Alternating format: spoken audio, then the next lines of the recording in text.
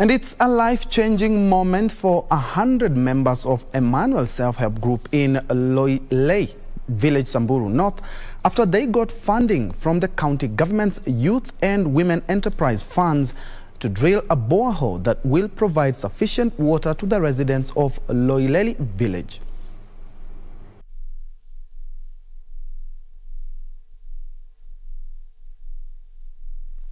The main outcome of this uh, Youth and Women Enterprise Fund is to increase access to funding opportunities for youth and women.